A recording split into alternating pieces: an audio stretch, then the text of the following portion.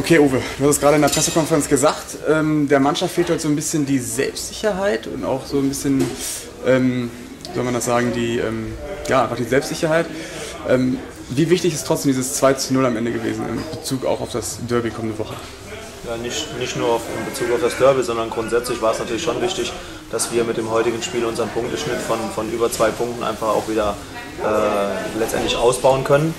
Ähm, das haben wir geschafft. Äh, mit Sicherheit ist es so, Du hast gerade Selbstsicherheit gesagt, also ich würde sagen, so die Selbstverständlichkeit in vielen Situationen, die hat gefehlt, ne? wo, wo äh, wir in sehr, sehr vielen Spielen, gerade wenn wir einen Lauf hatten, gerade wenn wir eben deutlich äh, aktiver ins letzte Drittel des Gegners gespielt haben, da war es dann schon häufiger so, dass finale Bälle einfach besser getimt waren, dass wir mit einer höheren Laufbereitschaft in diese letzte Zone gespielt haben, dass wir mit Sicherheit auch deutlich mehr Situationen kreiert haben.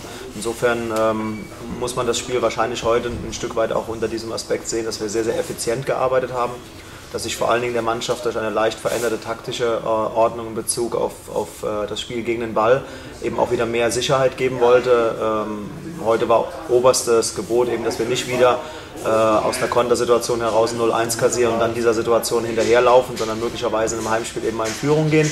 Ich denke, all das so die, die, die mangelnden Erfolgserlebnisse der letzten zwei Spiele, mit Sicherheit auch so dieses Wiederkehrende gegen eine Mannschaft aus dem unteren Tabellendrittel spielen, irgendwo vorlegen zu müssen, äh, das alles hat mit Sicherheit dazu geführt, dass die Mannschaft sich schon ein Stück weit Druck gemacht hat.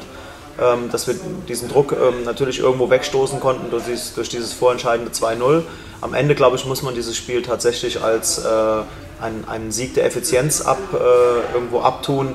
Es war nicht das Spiel, was ich mir eigentlich in Heimspielen vorstelle. Ich glaube, da haben wir noch Luft nach oben, um auch einfach wieder attraktiver zu spielen, denn das soll ja auch ein äh, letztendlich immer wiederkehrendes ähm, Element in unserem Spiel sein.